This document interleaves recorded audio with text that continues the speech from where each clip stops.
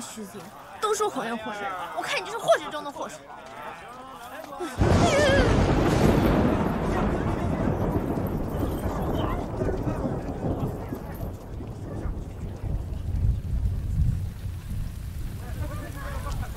这刚刚还晴空万里，怎么突然就下雨了？这是老天爷都看不下去了。哎呦妈呀！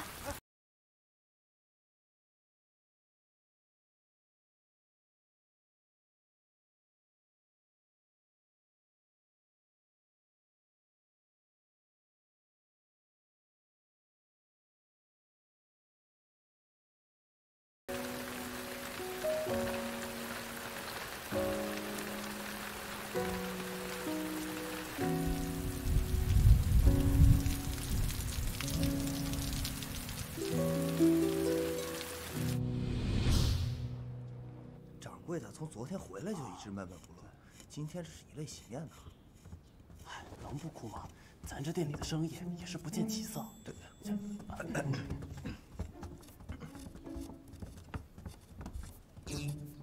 三妹，吃点东西吧。你放心，小吃店不会倒，我也不会走。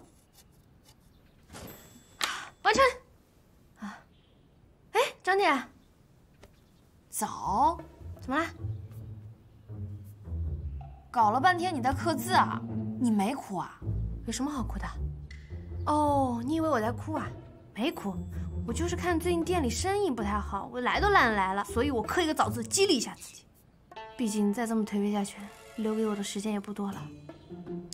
你别急，我相信你。嗯，哎，这点心这么小，没见你做过呀？天气太热了，做太多也放不住，浪费，所以我做小一点，也方便携带。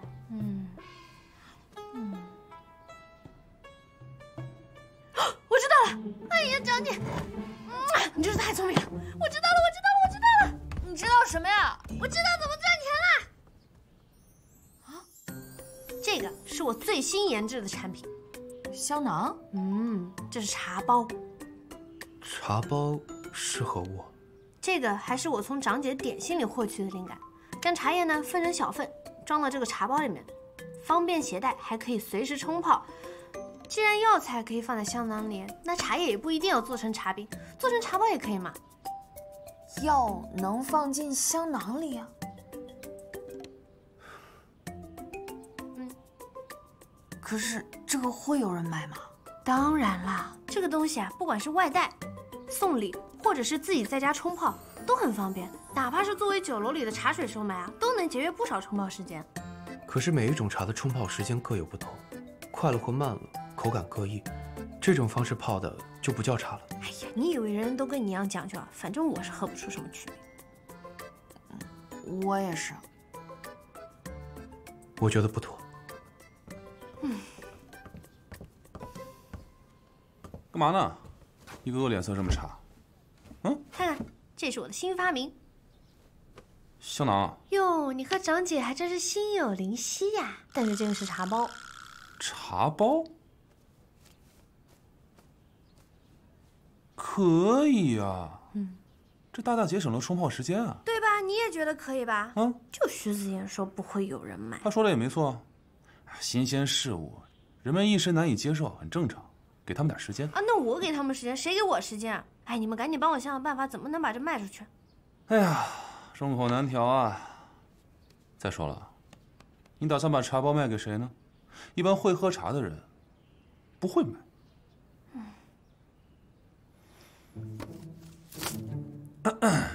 有没有感觉我今天有些变化？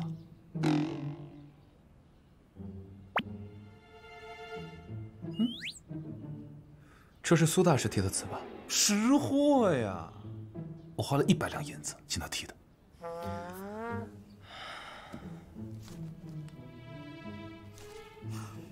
万物丧志。柳青，我就这点爱好，这人无癖者不可与交。狡辩，他能卖钱吗？这可是无价之宝。再说了，这炎夏城有多少爱慕苏大师的女子，都等着要他的字呢。我这多一份。题词，我知道该怎么卖了。既然会喝茶的人不买，那我就卖给不会喝茶的人。瞧一瞧，看一看，印有苏大师、唐公子，还有秦公子和许大夫最新题词的茶包，还有听雨轩姑娘们小象的茶包，五十文一包，多买多送。苏大师，给我来三包苏大师的题词。我要许公子的，来十包。唐公子的，来二十包。柳姑娘的画像，我全都要了。全都要了，全包起来，包起来，包起来。好好好，来来来，是的，拿着拿着，都有都有都有。哦，行行行，哎，别抢，来，你的，拿好。哎呀，这么多日子，总算借了钱了，我这小命可算是保住喽。一二三，掌柜的，啊这是秦公子刚送来的最新题词。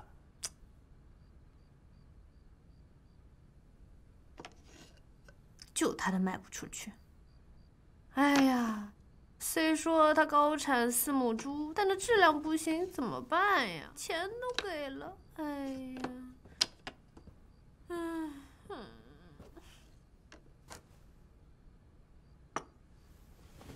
嗯。喝了，哎呦，你吓死我！你怎么走路没声音啊？哎呀，一会儿喝吧，烦着呢。你忘了之前答应过我什么？哎呀，知道了，知道了。哎呦，嗯，怎么那么苦啊？你加了什么啊？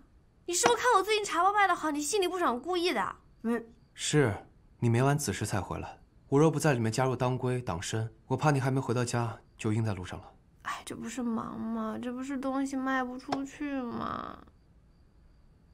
你不是挺会卖的吗？搭配着卖呗。搭配着卖怎么卖呀？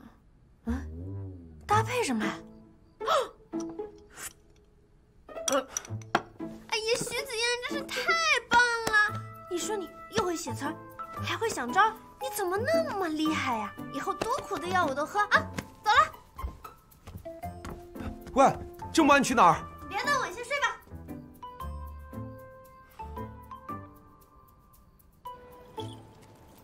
来来来来看一下最新出的茶包，五十文一盒，一百文有三盒，购买就有机会获得苏大师尚未问世的独家题词和听雨轩的独家画像。给我来五盒。好，哎，好。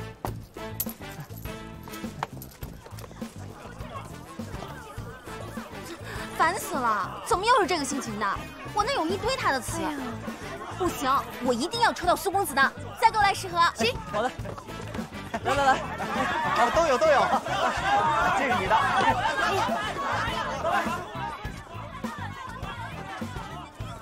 这是在干什么？这么多听说啊你的你的，这许记小食店的夏姑娘正在卖茶包。茶包？是，她在茶包上印了名人题词和姑娘画像，受众多人喜欢。啊，什么？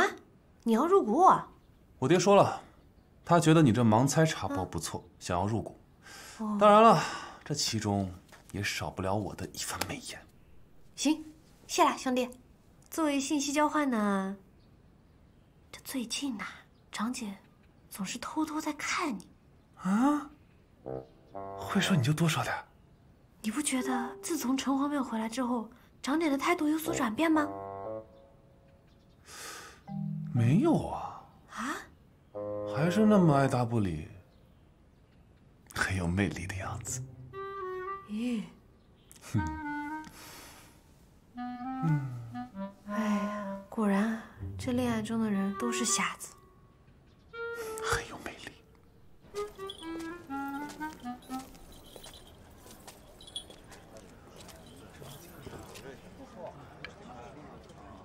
你小时候喜欢玩这个吗？没啥兴趣，这玩意儿啊，属于没什么脑子的人，呃，没什么人能玩得明白。不喜欢就算了。啊？你要送我？不瞒你说，我一直对兵器很有研究。叔叔叔叔叔叔叔。哎呀，您真是好眼光，百花争艳，唯白莲花纯洁无瑕，不染一丝污浊。我看你扇子上的吊坠丢了，送一个新的给你吧。好，好，好，哇，这白莲花跟我配得很啊。嗯，夏雨冰说的有点道理啊。柳青待我是与原来有些不同。儿媳妇儿，你和贵儿子成亲仓促，我也没备什么彩礼。这个小店的地契呢，就当做彩礼给你补上，还来得及吧？来得及，来得及，谢谢爹。哎，别客气，一家人不说两家话。我现在就盼着你赶紧生个大胖小子。啊？嗯。嗯。爹，其实我……嗯。嗯，没事儿，我努力。嗯，好，我尽量。嗯。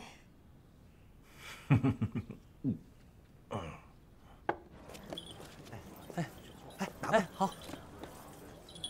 叶问那个瓜娃娃无缘无故入过我儿媳妇的店，我能够让他比下去？老爷，您怎么也不找少爷商量一下？就许家的产业轮得上他指手画脚吗？他懂个屁！回家。是。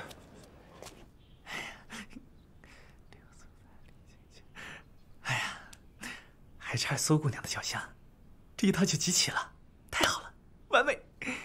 哎呀，气死我了！那夏雨冰又开始作妖，买什么盲猜茶包？现在全城的人都在买他的东西啊！什么玩意儿？哦。等会儿，你怀里那是什么啊？哦，没什么，没什么，画像，画像而已。画像？给我看看。你还是别看了吧。哪？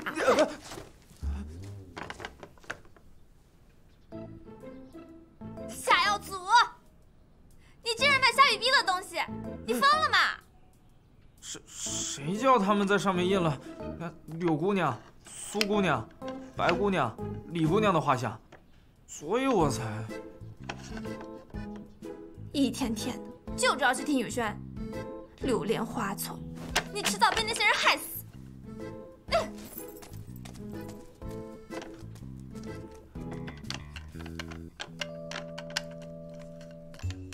老爷，进来吧。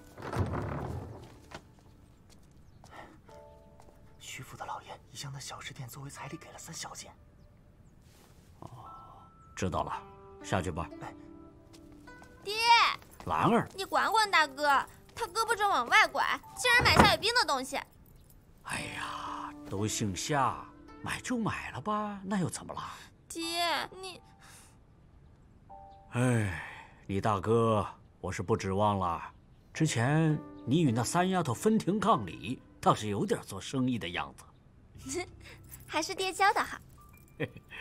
哎，兰儿啊，你知道这做生意的精髓是什么吗？等着啊，爹教你。你先看看这两本账册。有何不同啊？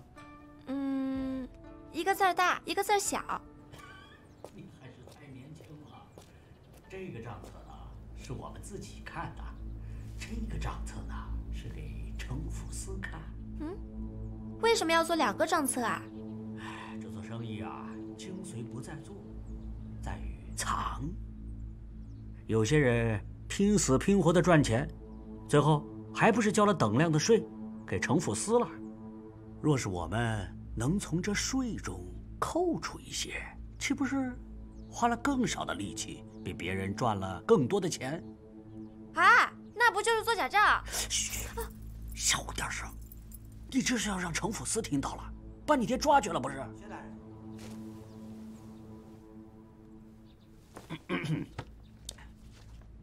进来吧。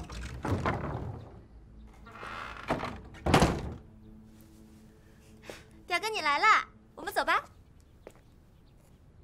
大伯，我带夏兰去灯会。好，去吧。早去早回。知道了，爹。走吧。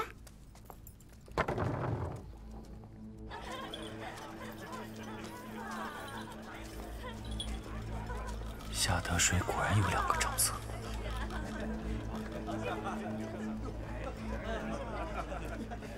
我要这两个。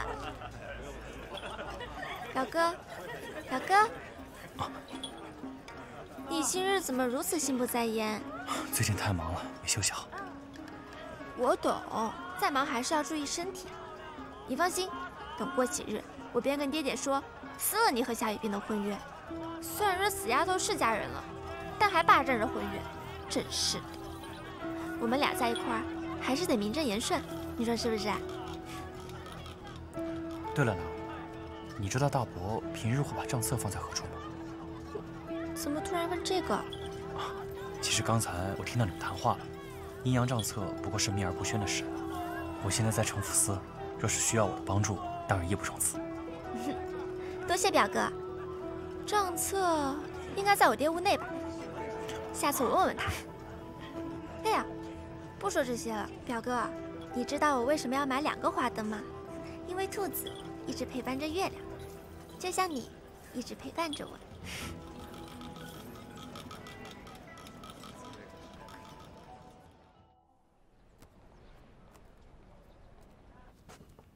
来，小心点。哎，好了，就到这儿吧。神神秘秘的，到底要做什么呀？自己看看。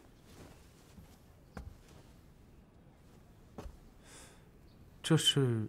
你打开看看，来，嗯，嗯，我数了，三二一，将灯分享。旧货渐变新房，改变环境精神爽，喜酒迎新新气象，一年更比一年强。你爹呢？把地契给我了，看在你给我题词的份上，我给你挪了个地儿。这可不像你的风格。好像我不是一个称职的合伙人似的。应该花了不少钱吧？我对你的心意，那是能用钱来衡量的吗？好，谢谢你。哎，呃，我就当你是真的在谢我了。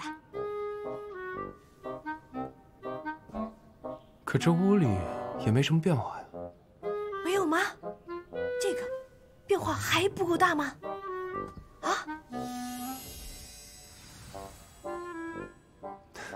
你可真是无奸不商啊！呃，这夏掌柜，哎，都清点完了。哎，好，来了。那个，我先去忙了，你慢慢参观。走了，走走走。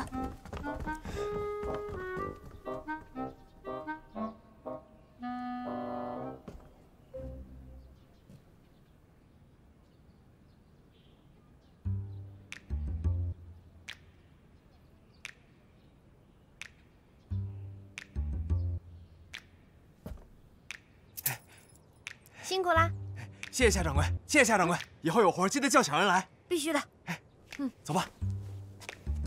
哎呀，嗯，还是这屋够大，能放下所有的货物。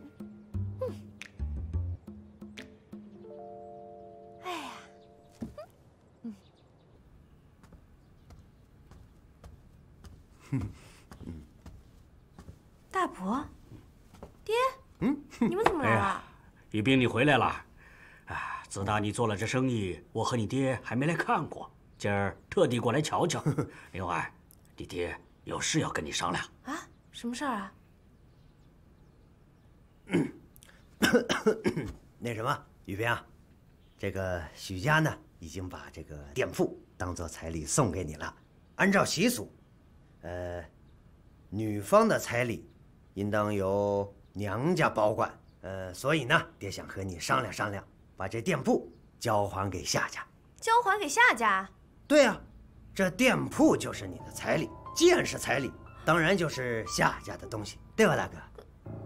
可是这店是我起早贪黑拼命打拼下来的。哎呀，爹知道你起早贪黑不容易，可是自古以来，出嫁女子的彩礼就该归娘家所有。可是我出嫁的时候，夏家有管过我吗？有给过我嫁妆吗？我小店困难的时候有帮过我忙吗？从小到大，最好的都是给夏兰。啊，我知道了，你们现在就是看我发迹了，眼红了。我凭什么把店给你们啊？就凭夏家给你这条命。没有夏家的抚养，你能有今天吗？没有夏家人这身份，那许家公子能娶你吗？于冰啊，做子女的不能忘恩负义。嗯，这传出去，让别人怎么看待夏家？怎么看待你爹啊？就是。你要是执意不肯交店，那你和夏家从此可就没有任何瓜葛了。女儿啊，老祖宗留下来的习俗，他不能违背。你大伯是为你好，那子女不孝的事一旦传出去，别人怎么想你？怎么看我？你爹说的对，这生意是小，师德是大。况且啊，又不是不让你经营了，这店归在夏家名下，但经营还是归你啊。对嘛，你再好好想想啊！哼，老实的，嗯，想想吧。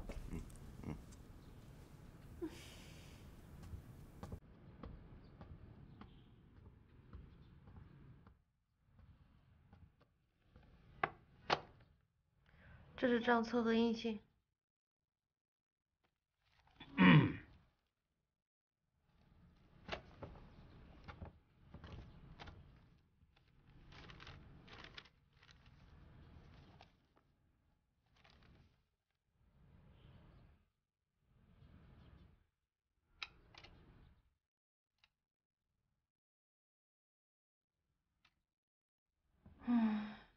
包原料能做四杯花茶，四杯花茶，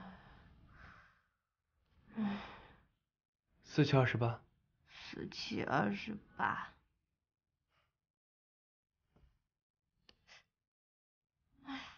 听着声音有点空啊。哎呀，别闹了，还在为了印信和账册这事烦恼。我现在不想说话，你让我一个人静一静吧。哎，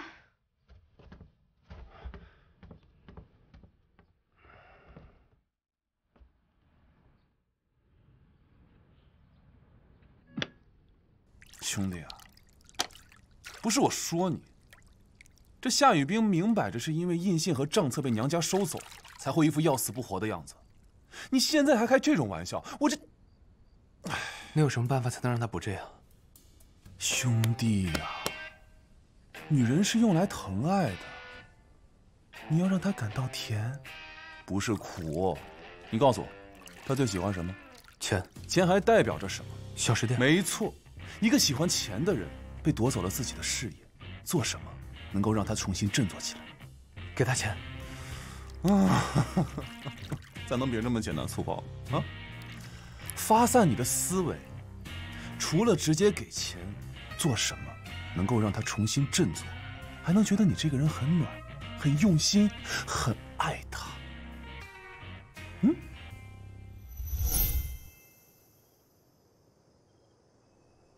我这有两张今晚的戏票，你可以和大伯去看。表哥，你为什么不和我们一起去啊？城府司公务繁多，我连今晚几点入寝都不知道。啊？表哥，你太辛苦了吧？习惯了。那我就先回去了。你替我好好看戏，下次说给我听。嗯嗯。表哥再见。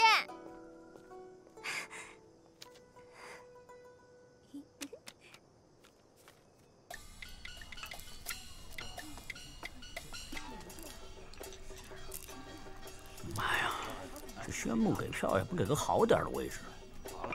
爹，你别这么说表哥，表哥也是一番好意。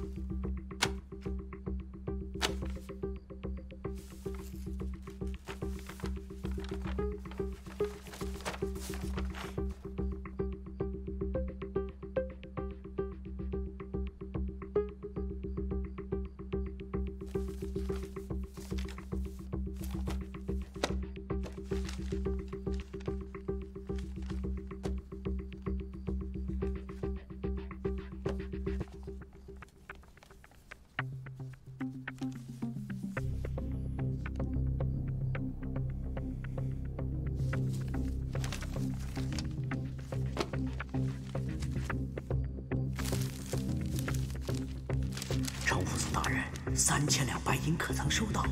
小民府上有一对下人夫妇，可做替罪之用。小民以其独子相拥，二人已同意为此事代为受罚，还望程府司大人相助。可恨老者太不义，杀我宋亲为纳尊。今日定要报复仇，定叫老者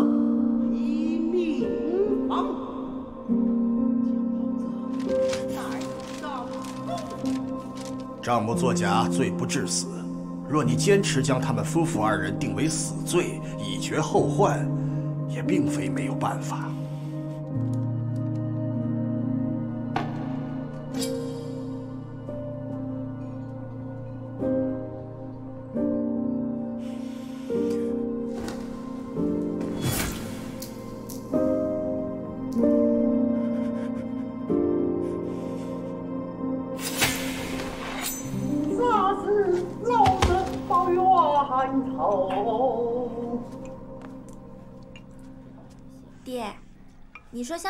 这么优秀的人，夏雨冰根本配不上他，对吧？薛木配三丫头，哼，那是差了点儿。是吧？像表哥这么优秀的人，就应该配得上优秀的女子，比如比如谁啊？你女儿我呀。你再说一遍。我我和表哥不配吗？兰儿啊，你的人生路那还长着呢，以后的选择还多着呢。薛母配不上你，为什么啊？我怎么能让那个贩夫走卒之后娶了我的宝贝女儿呢？做梦！以后啊，你少跟那个玄母来往。爹爹，表哥哪里不好了？虽然他出身是低了点，但他现在已经是副府司了，今后前途无量啊！而且表哥他温柔体贴、善解人意，对我又很好，我是真心喜欢他的。你就成全我们吧！住嘴！我就是把你关在屋里一辈子，也不会让你嫁给那个家伙。你现在啊，就给我断了那份念想。爹，你吓到我了。兰儿啊，爹这是为你好啊！啊，听话。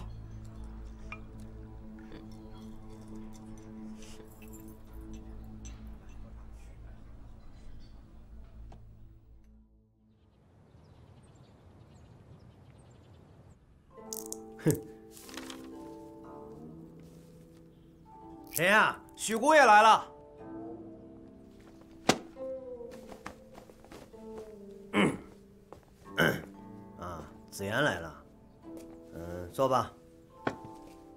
这大白天的不在店里帮衬雨冰做生意，怎么跑我这儿来了？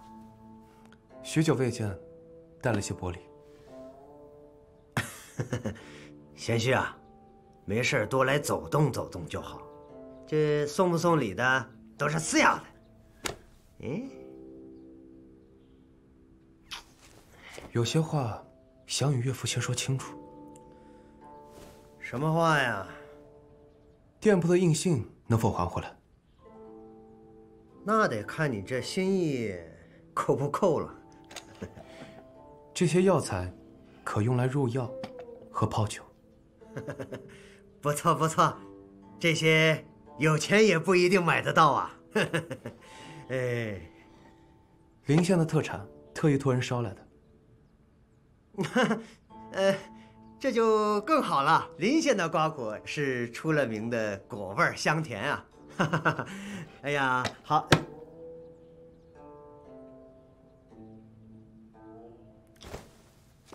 这印信的事儿嘛，好说。咱们都是一家人嘛。来来来来，吃点瓜子儿啊。不吃了，现在就去拿银杏，我和你一起。贤婿啊，这婚嫁彩礼自古以来都是由娘家保管，本就是天经地义的事儿。再者说，你和雨冰已经成亲了，都是一家人，是吧？你又何必纠结这些呢？雨冰是你的亲闺女，她现在因为印信的事情，每天茶不思饭不想，你可知道？哎呀你干嘛如此暴躁？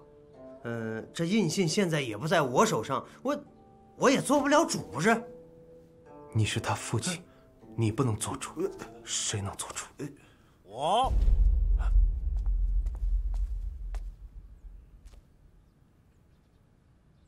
子言啊，我知道你从小就丰衣足食，人也聪明，做什么事都一帆风顺。也正是因为如此，你对很多生活的道理还是不明白呀。小食店本就是我们许家的家产，赠与与兵定当由他掌管。你们不顾廉耻强取豪夺，有什么道理可言？这茶之所以这么醇厚，正是因为反复冲泡掉了苦涩。生活如茶，要吃过一些苦，才会有往后的回甘。反复冲泡只会冲出茶叶中的毒素，若是常年喝这样的茶，定然会有一些隐患。你身患心病，或许便和这有关系。目无尊长，我告诉你，印信我不可能给你。开个价吧，多少钱我买回来便是。买？许家的东西再由许家人出钱买回去？许家老头子要是知道他生了个胳膊肘往外拐的儿子，他会怎么想？宇彬本就是我们许家之人，不是外人。你还是太年轻了，回去吧。为了些蝇头小利而置血亲于不顾，身为一家之主，你也未免太心胸狭隘了吧？放肆！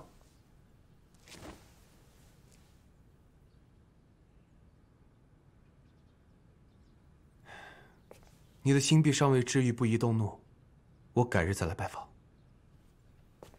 你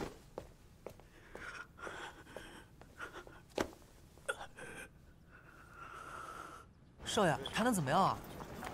要不是看在他们是长辈的份上，我都要动手了。心悸发作，来势快，呼吸不畅，易导致昏厥。不行，我得回去看看。少爷，你去哪儿？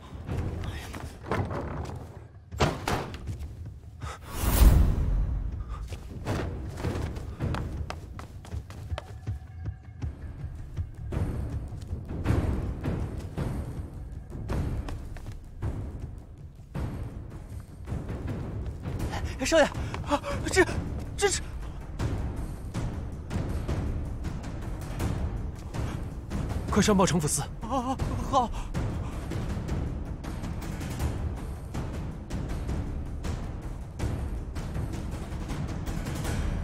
大人，就是这个畜生，他害死了我爹。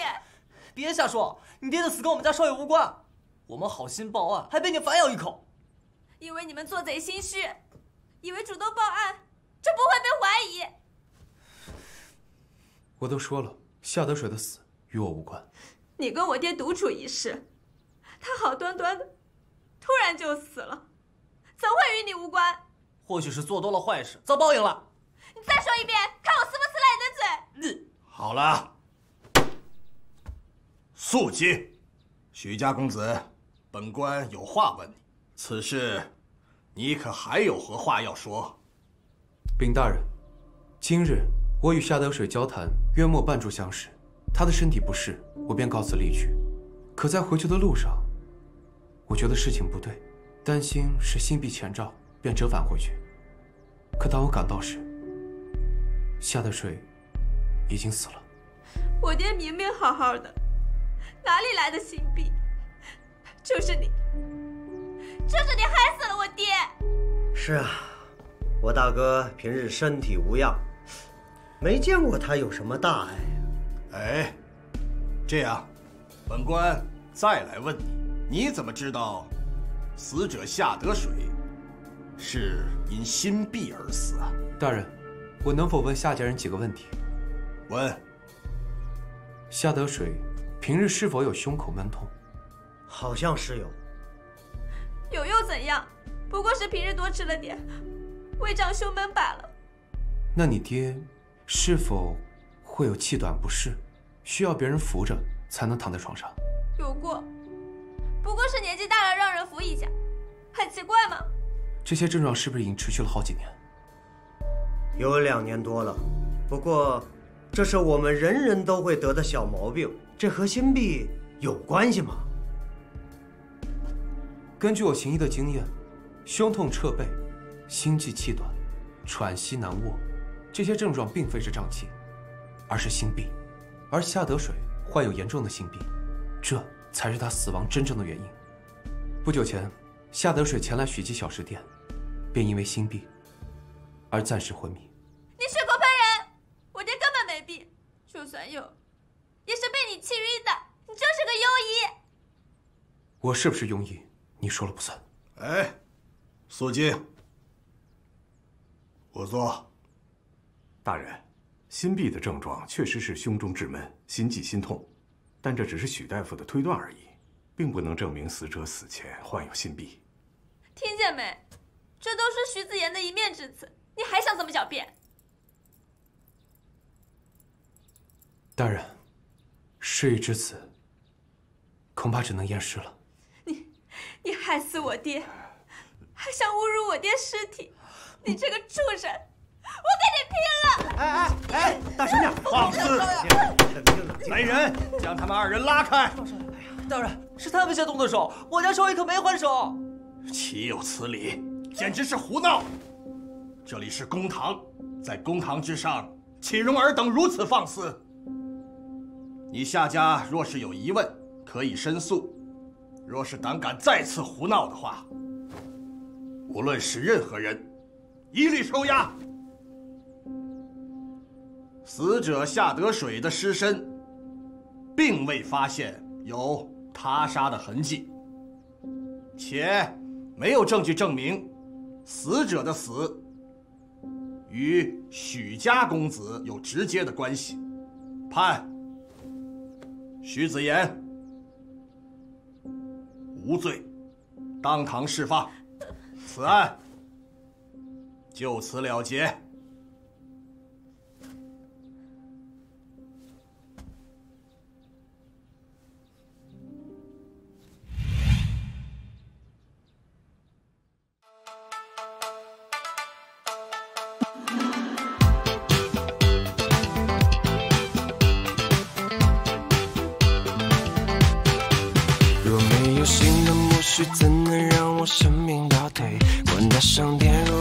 多有的罪。一滩魔力学不会一退锐减，心将明媚。要相信迎风高飞的勇气会加倍。说没有天的黑，怎知道梦成灰？心怀无畏就不怕鸟尽余晖。水滴石穿过后，光阴终究相会。黑在前，把心中的胆销毁。不任性高飞，骄傲，我勇敢的追。偶尔再来一记加马威，人生一回合，只要我不战不归。不要试图在最后一秒想把我击碎。